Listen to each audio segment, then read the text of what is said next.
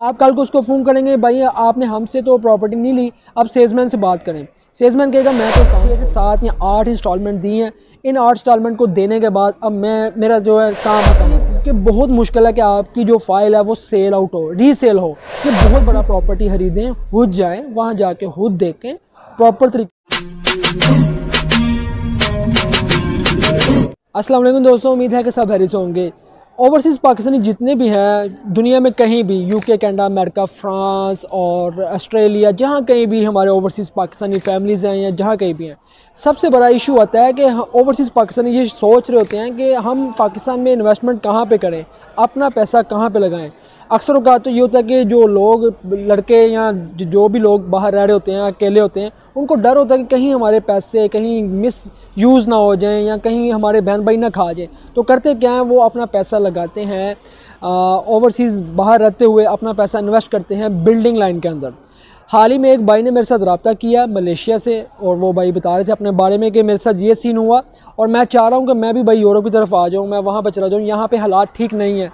मैंने कहा अच्छा चले, क्या हुआ? थोड़ा सा उनसे पूछा, उन्होंने बताया कि इस तरह से मेरे साथ सीन हुआ। अब मैं आपको बता रहा हूँ कि देखिए, जितनी भी हमारी ओवरसीज़ कम्युनिटी है और इवन के जो पाकिस्तान के अंदर रह रहे हैं, मैं अपना भी, खुद भी आपको सामने रख के बता रहा हूँ कि अक्सर अवकात हमें फ़ोन आ रहे होते हैं प्रॉपर्टी डीलर्स ने आगे रखे होते हैं, जितने भी प्रॉपर्टी बड़ी बड़ी सोसाइटीज़ हैं, उन्होंने आगे सेल्समैन रखे हुए हैं।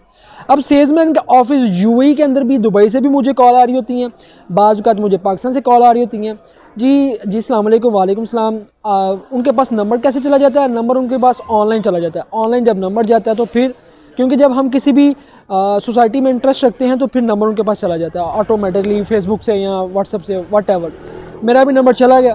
तो उन्होंने बात की कि इस तरह से मैं सेल्समैन फला फला, फलाना फलाना बात कर रहा हूँ। और हम आपको बताएँगे कि प्रॉपर्टी इस वक्त इस्लामाबाद के अंदर है, पिंडी के अंदर है। आप सियालकोट में देखना चाहते हैं, आप गुजरावाला में देखना चाहते हैं, कहाँ आप प्रॉपर्टी देखना चाहते हैं तो इस लिहाज से वो फिर हमें गाइड कर रहे होते हैं। और इस सेल्समैन अच्छी बात है सेल्समैन एक बहुत अच्छी बात है। लेकिन जितने भी ओवरसीज़ ये वीडियो देख रहे हैं, आप सबसे ये रिक्वेस्ट है कि जब भी आप प्रॉपर्टी ख़रीदना चाहें, आपके लिए सबसे इम्पोर्टेंट है कि आप तब तक प्रॉपर्टी ना ख़रीदें, जब तक आप जाके उस प्रॉपर्टी को खुद ना देख लें। क्या क्या चीज़ें देखने वाली होती हैं कि देखें सबसे पहले अगर कोई भी सोसाइटी बनी है पाकिस्तान के अंदर सोसाइटी है, एक नई सोसाइटी स्टार्ट की है, पहले तो आप ये देखें कि उसकी मजबूती कितनी है, कि वो जो सोसाइटी स्टार्ट की है, वो पहले से कितना काम कर रहे हैं, और लोग वहाँ पे, उनकी पहली सोसाइटीज़ के अंदर रह रहे हैं, उसके बाद ये देखेंगे क्या वो टी एम ए से अप्रूव है, आप टी एम ए में जाके पता करें, पाकिस्तान के अंदर, पाकिस्तान से टी एम ए में जाके पता करें क्या ये सोसाइटी अप्रूव है उसके बाद फिर उनकी जो मेन मेन जो सोसाइटी के ऑफ़िस हैं डायरेक्ट वहाँ पे जाएँ। अगर ओवरसीज़ पाकिस्तानी किसी भी बाहर की कंट्री में बैठ के यहाँ से पे करेगा डायरेक्ट उस सेल्समैन की बिहार पे तो याद रखें सेल्समैन आज है, कल नहीं है। सेल्समैन तो छोड़ जाएगा। आप कल को उसको फ़ोन करेंगे, भाई, आपने हमसे तो प्रॉपर्टी नहीं ली, अब सेल्समैन से बात करें। सेल्समैन कहेगा, मैं तो काम छोड़ गया हूँ। अच्छा एक और चीज़ यहाँ पे इतनी ज़बरदस्त चीज़ है कि जब भी आपने प्रॉपर्टी ख़रीदनी है, आप अपनी फैमिलीज़ को बीच में इन्वॉल्व करें। विदाउट फैमिली कोई भी प्रॉपर्टी ना ख़रीदें, क्योंकि जब आप अपनी फैमिली को साथ रख के इन्वॉल्व करते हैं तो आपकी फैमिली के जो भाई हैं या बुज़ुर्ग हैं, वो जाके प्रॉपरली मुआयना करें उस एरिए का, उस जगह का जहाँ पे सोसाइटी है। वहाँ पे जो मेन उनके, जो मेन रोल है जिनका, उनसे जाके मिलें कि किस बेस पे वो यहाँ आपके साथ डील कर रहे हैं?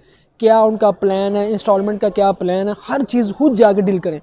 सेल्समैन का सिर्फ़ इतना ही काम है कि सेल्समैन सिर्फ़ आपको एक चीज़ बता रहा है। अब आपका ये काम नहीं है कि आप सेल्समैन से बाय करें या सेल्समैन को पे करें। आप खुद जाके उस जहाँ पे सोसाइटी है, जैसे कि रावलपिंडी के अंदर है या इस्लामाबाद के अंदर, वहाँ खुद जाके आप properly check check and balance करें, हर चीज़ क्लियर करें देन आप कोई फ़ैसला लें। इससे पहले आप फ़ैसला ना लें। यहाँ पे मसला ये आता है कि जब, अब एक बंदा ओवरसीज़ पाकिस्तानी बाहर बैठा हुआ है उसके पास काम है, आज काम है, कल नहीं है, या सडनली कोई ऐसा मिस हैपन होता है कि उससे काम ख़त्म हो जाता है। अब होगा क्या, जैसे मैं हूँ, अगर मैं एक प्रॉपर्टी खरीदता हूँ, मैं फ़ाइल लेता हूँ उनसे, ठीक है फ़ाइल लेने के बाद क्या होगा, मैंने छः से सात या आठ इंस्टॉलमेंट दी हैं, इन आठ इंस्टॉलमेंट को देने के बाद अब मैं, मेरा जो है काम ख़त्म हो गया। या मेरी जॉब चलेगी। अब मैं कहता हूँ जी, ऐसा करें, आप मेरी जो फ़ाइल है उसको सेल आउट कर दें और मुझे पैसे दे दें। अब पहली बात तो ये कि बहुत मुश्किल है कि आपकी जो फ़ाइल है वो सेल आउट हो रीसेल हो। ये बहुत बड़ा प्रॉब्लम है। ये याद रखिएगा, अच्छी से अच्छी कंपनी भी सोसाइटी भी हो, उसमें ये इशू आता है।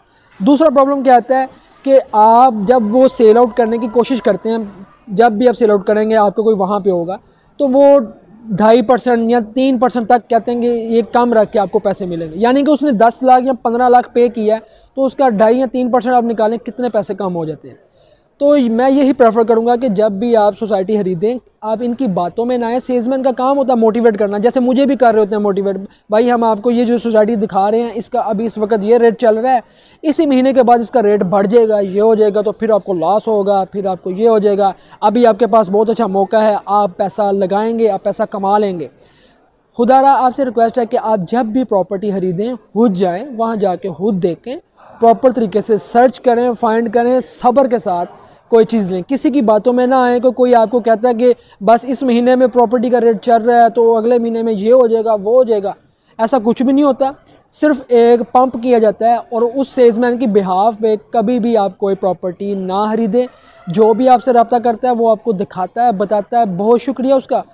अब जब बात आती है किसी चीज़ को बाय करने की, आप खुद जाके वहाँ से बाय करें। वेल एक छोटी सी वीडियो थी कि इस वक्त ओवरसीज़ का यही सबसे बड़ा इशू है। हर किसी के साथ यही मसला हो रहा है पाकिस्तान के अंदर।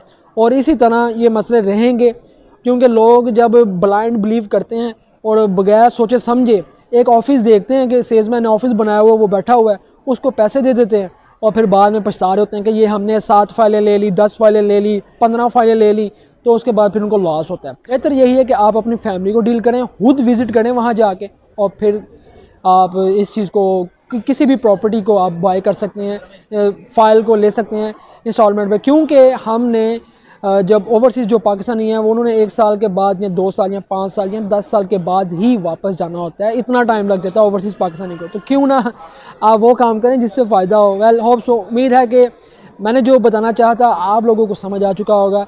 मुझे दें इजाज़त, मिलते हैं हम आपको अगली वीडियो में। दुआ में याद रखिएगा। अल्लाह हाफिज़।